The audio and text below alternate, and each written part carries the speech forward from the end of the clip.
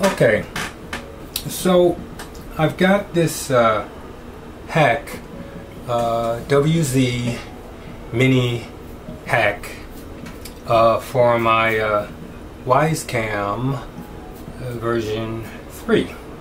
And what this hack allows me to do is receive uh, my data over uh, an Ethernet connection.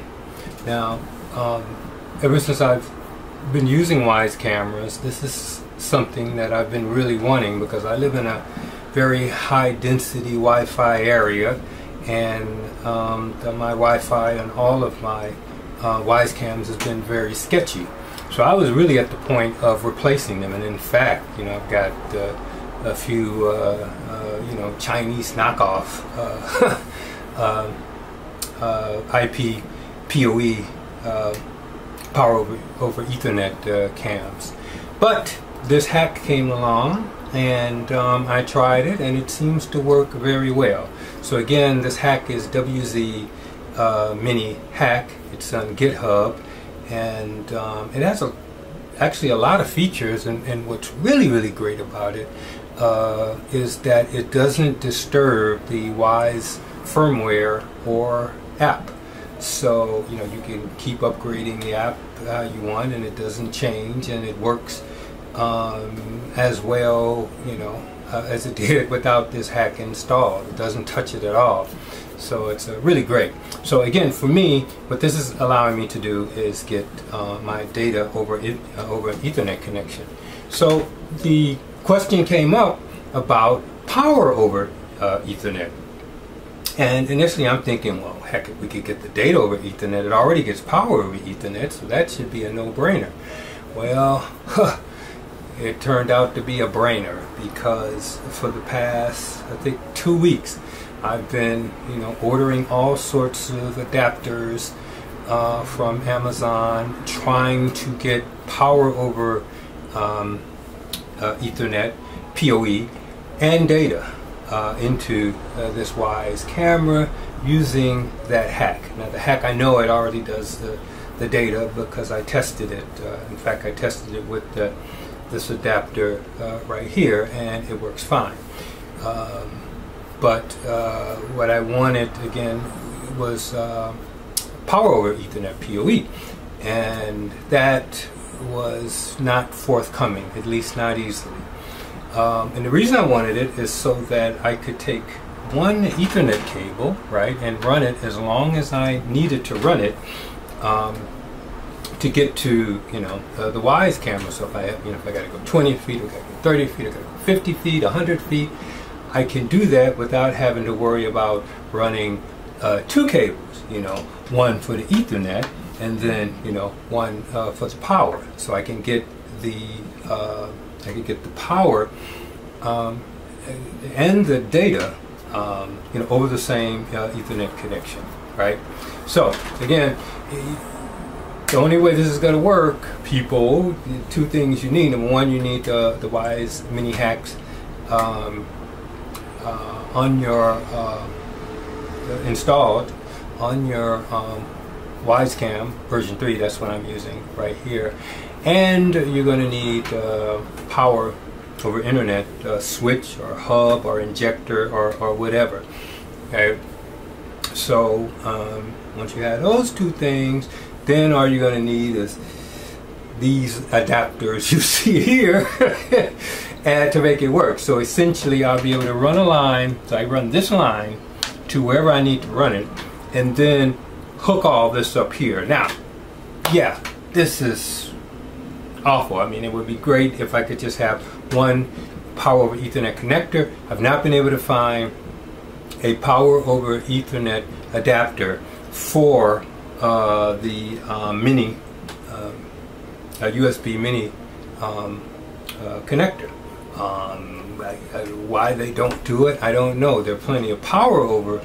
Uh, I'm sorry. There are plenty of um, micro connectors that, that send power, but they don't send uh, data.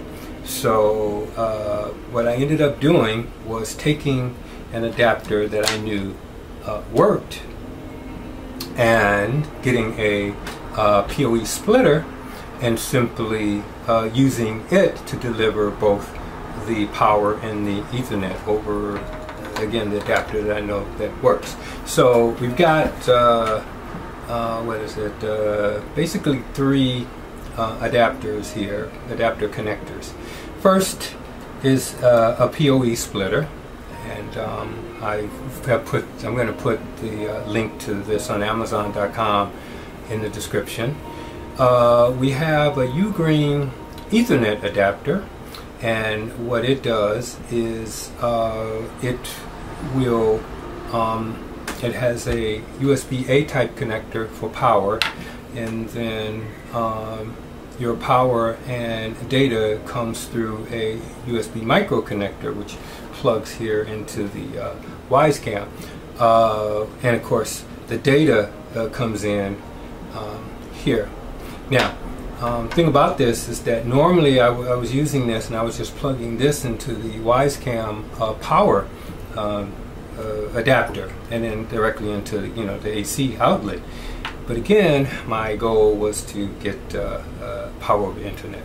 So, um, so I've got this, the Ugreen um, Ethernet adapter, uh, and then here, um, what I have is is actually a it's two uh, little converters. It's a micro, USB micro, right, uh, female to USB A male, and then I have this USB A female to female, and then boom.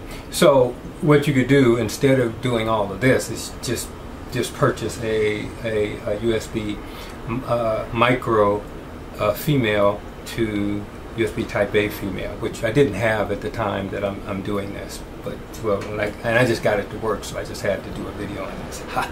Anyway, all right. So got these three uh, items here.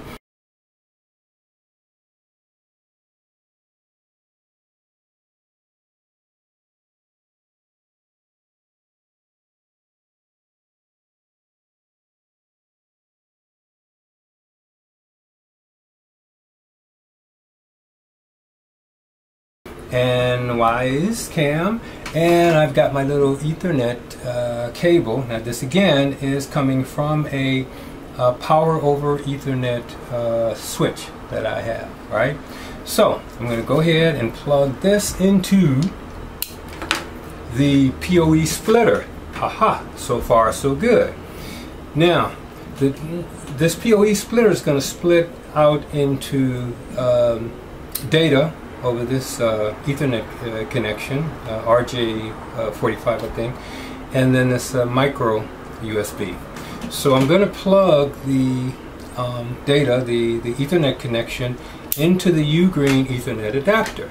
Okay, and then I'm going to plug the, and this is the data, so I'm going to plug the power here, um, this micro uh, male into the micro female connector. Like so. Wait a minute. See if I got this in here right. Never know. Can't figure out which is the right side so.